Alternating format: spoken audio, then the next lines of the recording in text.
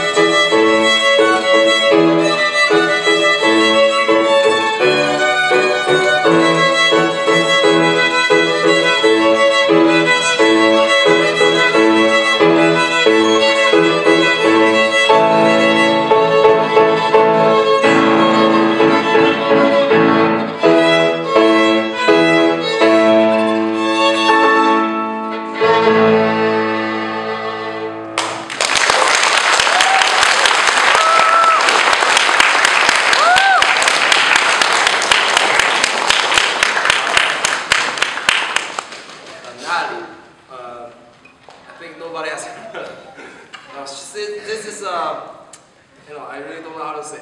Natalie is my first student in California. I really love her. So we met each other in 2017, even before COVID, you know, when I first came here. And uh, somehow her dad found me. At that time, I, I wasn't teaching so much, but you know, then then she came to my place and we talked and we, it seems like we like each other. Then then we, we started together. Then I moved to here, you know, and, and then I never saw her again in person. You know, sometimes uh, you know taking some uh, Zoom lessons on Zoom.